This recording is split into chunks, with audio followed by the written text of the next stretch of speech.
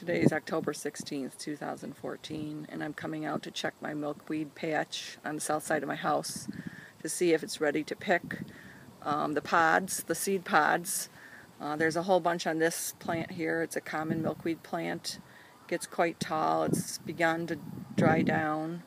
Um, the pods, I just picked one off, and they do not seem quite ready yet.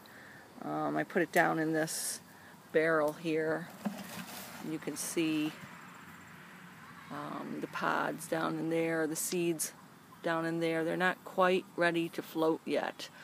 So if I come down to this side here, you can see that this patch is really dried out and really ready to take off with the wind. They're very loose. The pods have opened almost completely. Some of the pods are empty. This one's letting them go. It was windy earlier. Were getting some movement on the milkweed with the wind.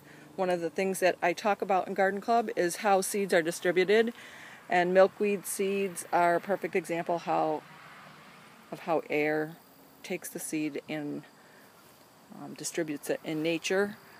Other ways we talk about are on animals and people, of course, traveling. Sometimes people take seeds and put them someplace else. Um, birds eat the fruits on things and distribute the seeds. When they go to the bathroom, seeds get caught in animals' hair. But the wind is one of the most natural ways that seeds are distributed. And if it picks up here, we're going to see some milkweed seeds take off. Um, tomorrow's supposed to be very windy, so I expect that these pods that are open will really lose their seeds.